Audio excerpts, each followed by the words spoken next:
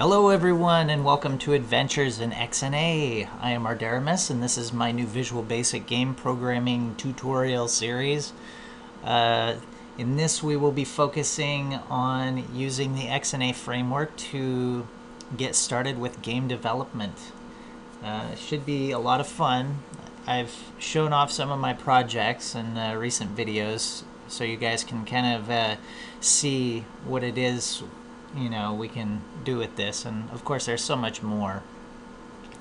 But uh, my goal here is to get everyone started so you can uh, at least get up and going and start making your own games.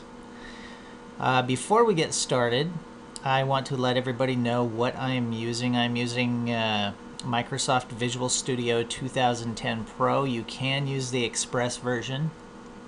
Um, uh, there are some limitations to the Express version, I believe, such as project deployment and things like that. But you can still uh, work along and, and produce a project and play your game on your machine. So, um, just to show you what version I'm on here, uh, if you have any difficulty installing the Windows Phone Development Kit, the SDK, uh, you may want to update your Visual Studio to Service Pack 1 at least. Um, that is what I'm running on. So before you before you're able to actually create an XNA game setup, uh, you will have to have that SDK installed. That allows Visual Basic to take advantage of uh, XNA Game Studio. So Without that, you may not actually see the XNA projects when you go to create yours. Anyway, let's go ahead and get started.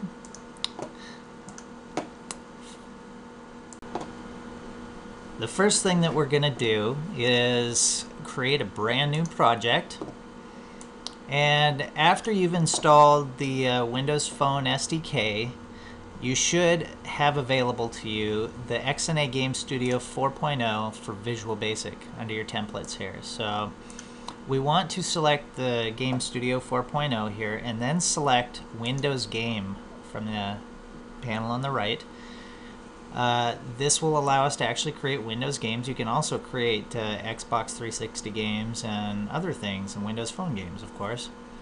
Uh, but we want to create a Windows game. So I'm going to select that and then I'm going to give my project a name. I will call it Adventures in XNA. Alright, and then when I'm done there, I will hit OK. And it's going to generate a template for me.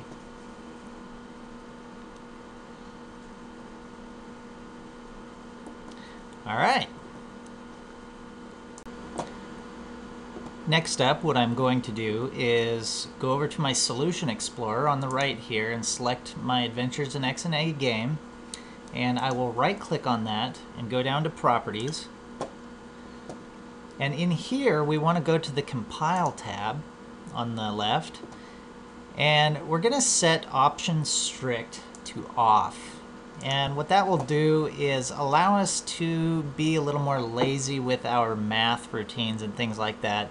Um, you know, when you try dividing integers and things like that, there are conversion errors that, you know, if you're not using casting and things like that to uh, convert integers and doubles and things like that, it can, it'll throw errors at you.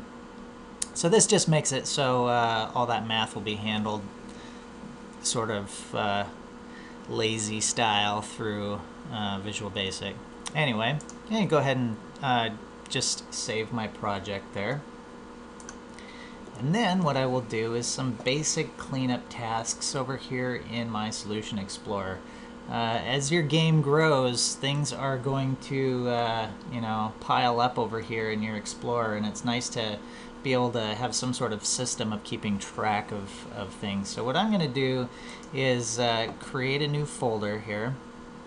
I'm going to say add new folder and this one's just going to be main and what I'm going to do is move uh, my game1.vba or VB in there, sorry, not VBA, and uh, program.vb.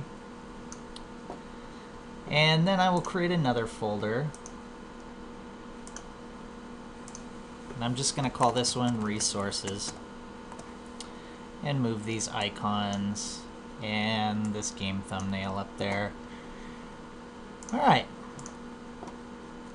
So now we are ready to get started creating our global structure and our game project structure.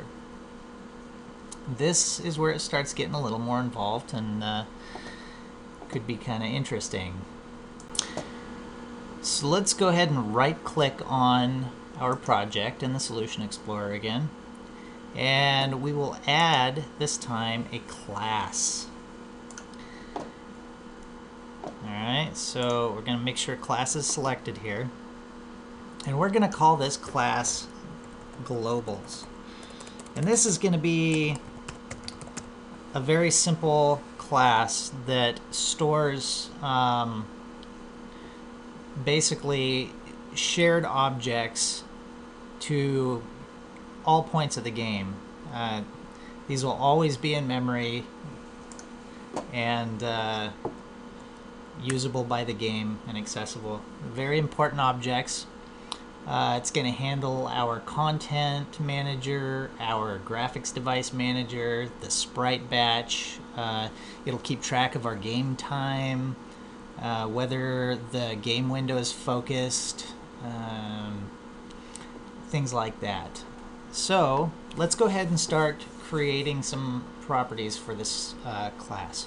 I'm going to do a public shared content as our content manager.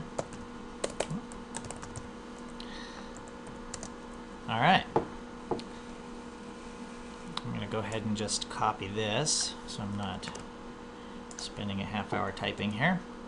All right, so all content will be managed through this property. Um, this will be our graphics, public shared graphics as our graphics device manager. All right. That's another very important one that will handle all of our graphics and our window size and many other things. So.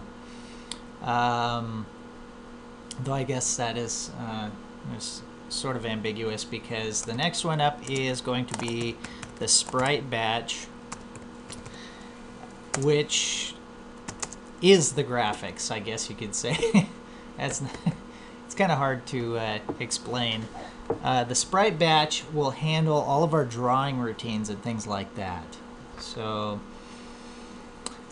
uh, this will be as a sprite batch.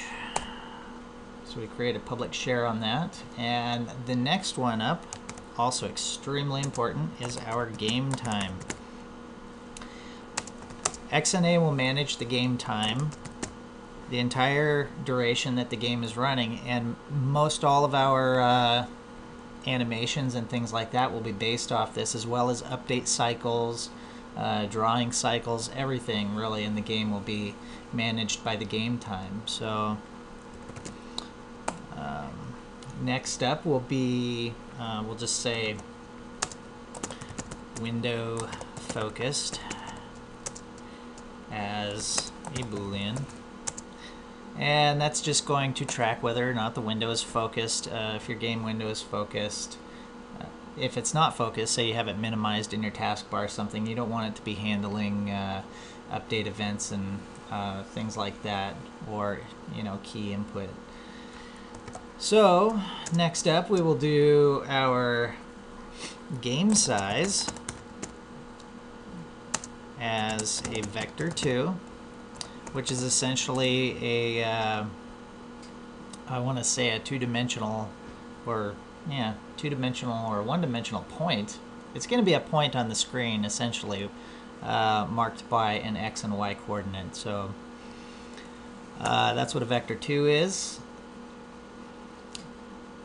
And finally, we will do our back buffer, which is where all of our graphics will be pre-rendered and drawn and then uh, rendered to the screen. So this is going to be a render target 2D.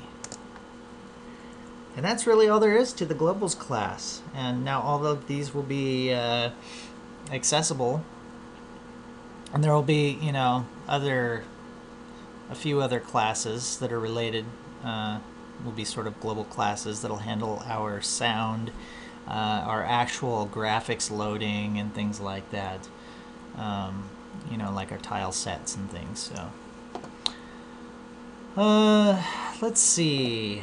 Next up.